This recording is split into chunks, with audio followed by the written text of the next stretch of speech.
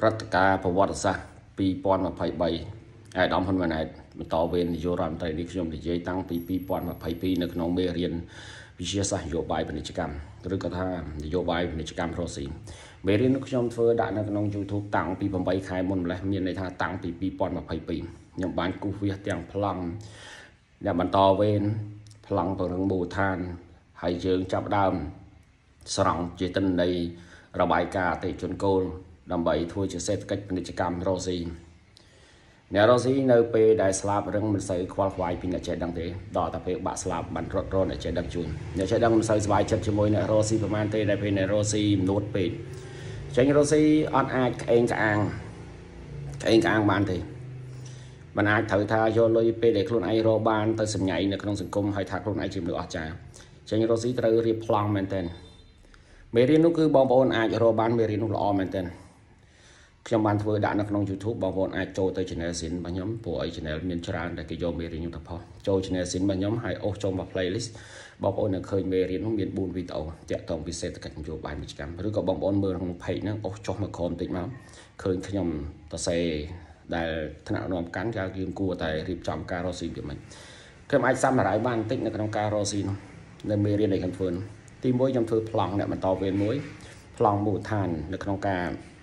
ស្រង់យកទិន្នន័យអតិជនគោលដៅមួយប្លង់អភិបាលកិច្ចមួយប្លង់ការប្រើដើមទុននិងការលេងពីហ៊ុនមួយប្លង់ធ្វើ marketing MC មួយ MC មានន័យថា marketing company ហើយមួយទៀត MA marketing agent ប្លង់មួយទៀតគឺប្លង់ marketing fund ក៏ខ្ញុំធ្វើដាក់នៅក្នុងដែរ មានមួយទៀតការ business corporation ឬក៏អាចហៅថាការឡើងទៅផុតពីសហកម្មសិទ្ធិតិចបកមក business group ដើម្បីយើងបង្កើនចរន្តលក់របស់យើងឲ្យតាមទិសដៅសេដ្ឋកិច្ចអធិភាពនិងសេដ្ឋកិច្ចនិរន្តរភាពមានន័យថាទោះបីជាសង្គមបាត់បែនវាមិនក៏យើងនៅមានផលិតផលលក់ដាច់ដែរ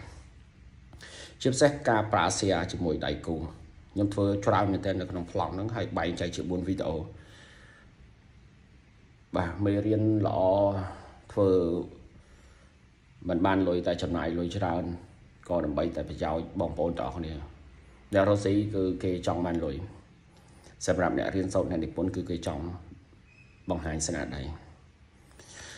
អូខេនៅក្នុងវីដេអូមួយនេះខ្ញុំផ្សារភ្ជាប់បន្តិចដែរមេរៀនដែលខ្ញុំនិយាយខាងលើនោះគឺខ្ញុំរំលឹកទៅក្នុងថ្ងៃព្រឹត្តិការណ៍ថ្ងៃទី6ខែស្អែកមួយនេះហើយនៅកម្មវិធីប្រពដាទ្រង់ទ្រាយធំដែលមិនដែលធ្លាប់មានគឺការប្រពដាអឺ សេដ្ឋកិច្ច digital ទ្រង់ទ្រាយធំដែលអ្នកចូលរួមដល់ទៅ4 500នាក់ហើយអឺតាក់ទងប្លង់ពាណិជ្ជកម្មផងខ្ញុំប្រកបដាក់ចូលលុយទេខ្ញុំអាចប្រាប់អាស័យដ្ឋានបងប្អូនទាំងអស់គ្នាអាចទៅបានតិចអ្នកតែចោះឈ្មោះហើយគឺនៅអាគារ CGCC នៅអាគារជប៉ុនមានន័យថាអាគារជប៉ុនក្នុងបរិវេណសាកលវិទ្យាល័យភូមិន្ទភ្នំពេញអញ្ចឹងបើសិនជាយើងជិះតាមដងផ្លូវនៃអឺ បណ្ដោយផ្លូវសកលវិទ្យាល័យភូមិភ្នំពេញហ្នឹងយើងឃើញអាគារ CGCC យើងបត់ចូលទៅហើយយើងទៅផ្ញើឡានផ្ញើម៉ូតូនៅខាងក្នុងនេះយើងអាចដើរចូលក្នុងបន្ទប់ត្រែងធំបើយើងអាចទៅដល់បរិវេណនៅក្រសួងការងារនេះយើងអាចសួរគេអាគារ CGCC ឬក៏ថាអាគារអឺអាគារដែលខ្ញុំរៀបរាប់ហ្នឹងនៅចិត្តក្រសួងការងារហ្នឹងនៅកន្លែងណាគេអាចប្រាប់យើងបានហើយបើសិនជាបងប្អូនចង់មកជួបខ្ញុំដើម្បីប្រឹក្សាយោបល់លើអឺ ពាណិជ្ជកម្មប្លង់គួចរការធ្វើជាសាស្ត្រនយោបាយពាណិជ្ជកម្មការដឹក HR ការលេងសៀការប្រើគោលនយោបាយសេដ្ឋកិច្ចក្នុងក្រុមហ៊ុនរបៀបម៉េចបងប្អូនអាចបរកខ្ញុំបាននៅវិទ្យាសាស្ត្រអន្តរជាតិ IK បាទអឺបើសិនជាយើងជិះពីស្ពានអាកាសស្ទឹងជ័យមកយើងមកដល់សារទំនើបស្ទឹងជ័យយើងផុតសារទំនើបស្ទឹងជ័យផុតក្រាសាំងរបស់ជោគប្រហែលជាខ្ទង់200ម៉ែត្រ យើងបត់ស្នាមដៃផ្លូវទៅទូទូបាយ័នយើងបត់ប្រហែលជា20 30ម៉ែត្រទេយើងឃើញវិទ្យាស្ថានអន្តរជាតិ IK ឬក៏ IK International ឃើញរូបខ្ញុំនៅហ្នឹងហើយអាចចូលមកជួបបុគ្គលិកខ្ញុំហើយសួរខ្ញុំនៅបន្ទប់ណាទៅគេប្រាប់ហើយអត់មានអស់សេវាអស់លុយទេខ្ញុំជួបប្រឹក្សាយោបល់ច្រើនណាស់ខ្ញុំអត់ដៃចលុយឲ្យកាត់ទេពីព្រោះគោលបំណងដូចខ្ញុំបានរៀបរាប់ខាងលើអញ្ចឹងថាអ្នករៀនគេចង់បង្ហាញចំណេះដឹងមិនមែនថាមនុស្សយើងមិនត្រូវការលុយតែមនុស្សមិនលុបលឹងបាទ អូខេ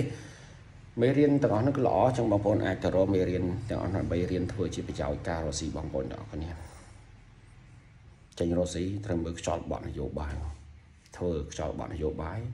ហើយយើងចាប់បានធ្វើសេដ្ឋកិច្ចទៅតាមបរិបទនៃខ្យល់នយោបាយដើម្បីបង្កើតការរកស៊ីការរកស៊ីរបស់យើងល្អយើងបង្កើតឱកាសការងារសម្រាប់ប្រជាពលរដ្ឋជាពិសេសយុវជនការងារបន្តវេនរបស់យើងបានច្រើន ចង់ឃើញខ្មែរយើងចេះប្រើចេះដើម្បីចំគោលដៅអរគុណបាយបាយ